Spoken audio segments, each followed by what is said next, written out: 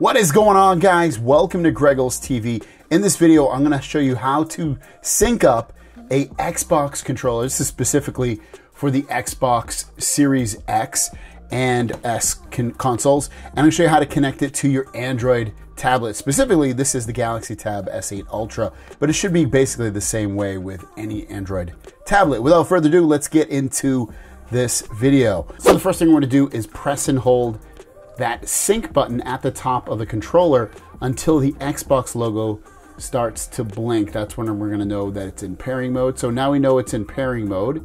I pressed it for a couple of seconds there.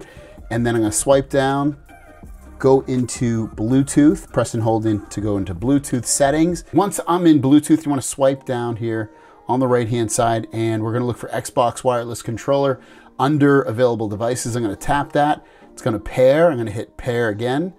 And in just a moment, it should be paired up. There it is. It is now connected so I can use it. So theoretically, you could just use it to navigate about. Like if I hit A and use the joystick, it will go to obviously anything I choose. B button goes back. So, you know, you could, again, theoretically use it for that. But ultimately, you want to use it for gaming. And specifically, I'm going to do another video, but I'm going to show you how to use it with Xbox Game Pass. Xbox Game Pass is a service that you can pay uh, 10 to 20 10 to 15 dollars a month depending where you get it from. And you can play and stream games xbox games on your tablet. And i'll do that in a little bit. So there you guys go. That is how to connect and pair an xbox series s or x controller. Thanks for watching. We'll see you down the road. Peace